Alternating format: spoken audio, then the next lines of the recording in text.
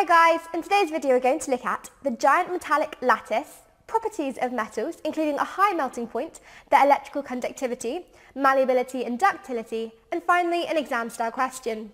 What do we mean when we talk about the giant metallic lattice? Well, we'll come across a lattice structure in terms of giant ionic and covalent lattices. And what it is, it's when we have millions of ions put together in layers and it's a 3D structure. And this is quite similar to what we have in metals, except in metals, the arrangement of the positive ions and negative electrons are slightly different. In metals, we have something called delocalized electrons and they're spread throughout the structure. And what we mean by that is the electrons are completely free to move. They are not localized, they're not bound to these positive ions. The charges, the negative electrons, can flow throughout the structure. And that's why you'll sometimes hear the metallic lattice described as a rigid lattice of positive ions with a sea of delocalized negative electrons. Now that's reflecting the fact that the negative electrons are free to flow and move anywhere they like. However, the charges are balanced throughout the structure, so although the negative electrons can move wherever they like, they will balance out the positive ions. And it's these negative electrons and their delocalization that gives metals some of their special qualities, something we'll have a look at now.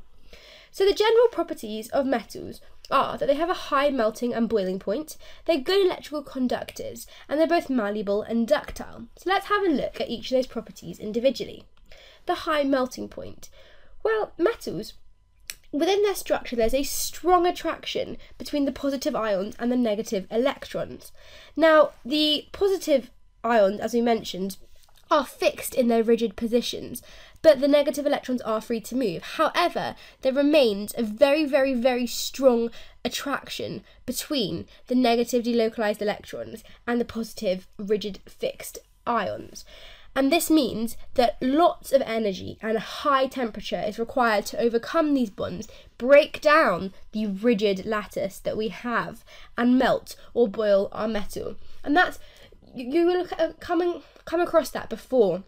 If you think about metals, you know, kind of gold, silver, platinum, zinc, at room temperature, you can hold them, they're solids and will know that if you've ever come across things like jewellery making or soldering or things like that, high temperatures are required to melt metals.